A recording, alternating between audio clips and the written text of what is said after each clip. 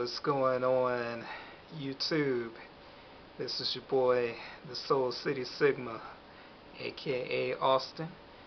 Just doing another update on this uh, stromal puncture recurrent corneal erosion deal.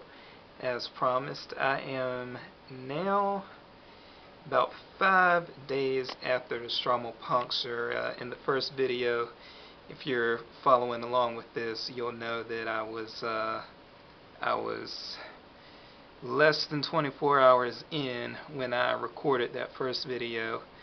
Um, we are now five days in, just about, and I do have a follow-up appointment on Thursday, and my well, which is, you don't know what day it is. I do have a follow-up appointment in two days, which will be seven days after the surgery. And I had a follow-up appointment.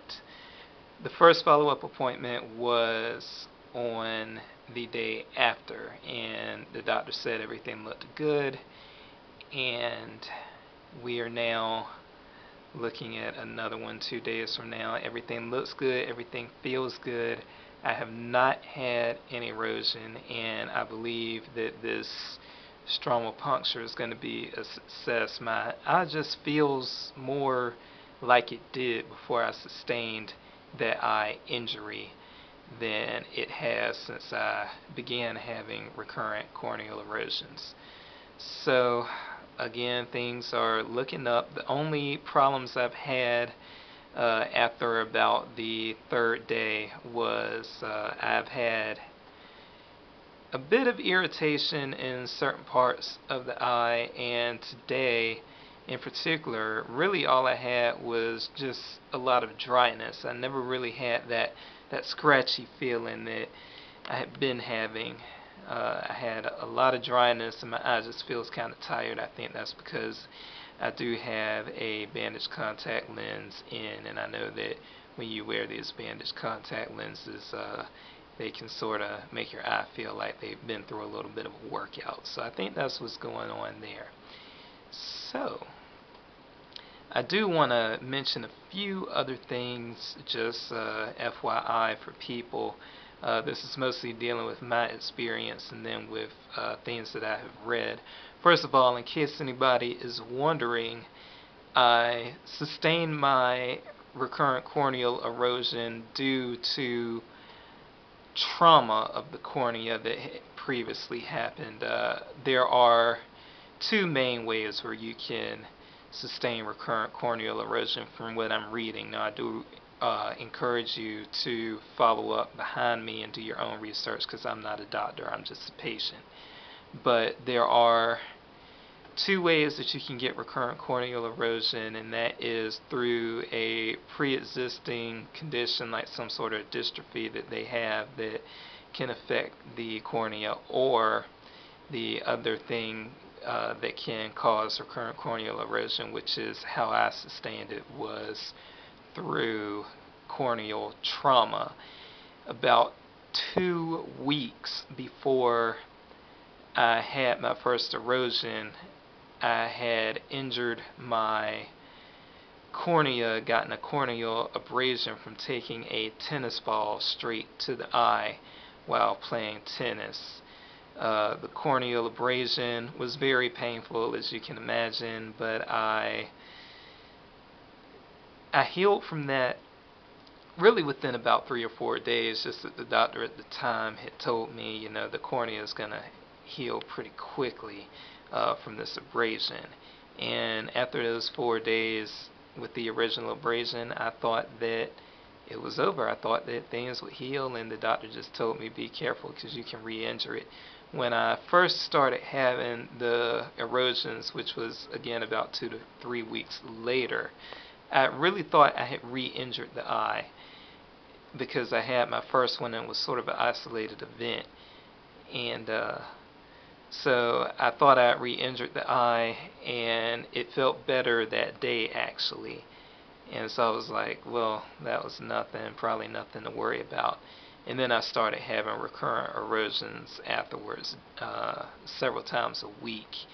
Uh, that was probably a little less, a little more than a month after the original injury, the original abrasion. So I say that to say that there are going to be different methods of healing involved if you have the dystrophy or that pre-existing condition than if you got the recurrent corneal erosion from an eye trauma like I did. So stromal puncture was best for me because I had a trauma traumatic situation to my eye, but it may not be the best situation for you. Consult with your doctor.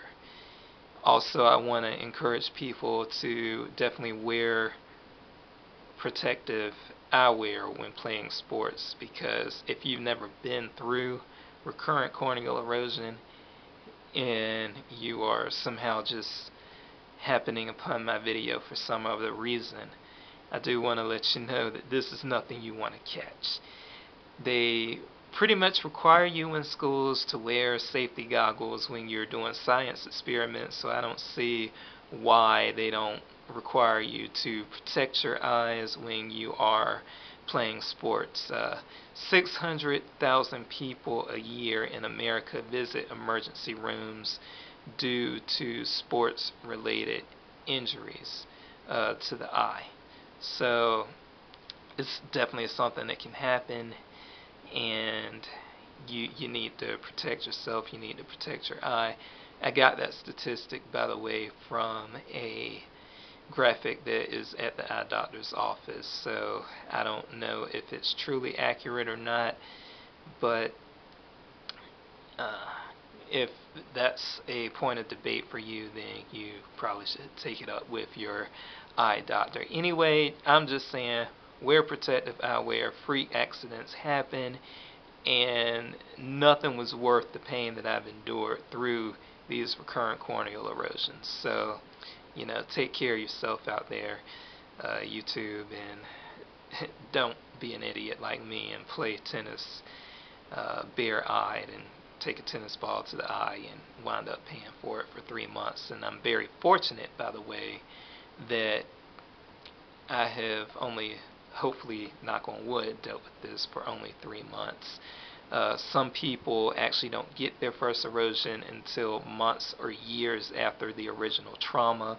I was very fortunate in getting my erosion starting uh, less than a month later, so it was very fast and easy to diagnose.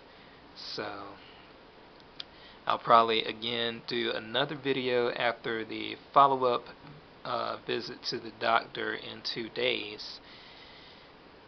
But uh, things are looking good and I have faith that I have finally turned a leaf here and things are getting better. Oh, I do want to also mention that I have been taking on top of what I mentioned in the first video I've been using a antibiotic and I've been using a uh, pain relieving drop prescription drop that the doctor prescribed me. In addition to that I've been using doxycycline which you should study up on uh, doxycycline is a prescribed uh, antibiotic that also helps with healing the cornea. It's a side effect, interestingly enough.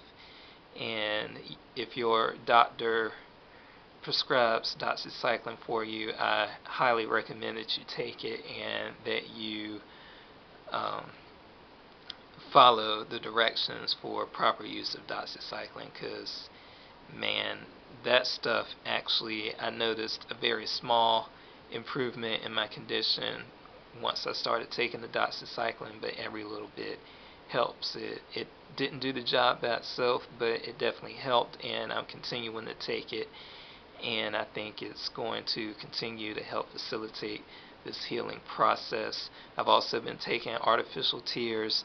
Make sure you take your artificial tears. Don't let your eye dry up because that can um, sort of, you know, facilitate an erosion happening.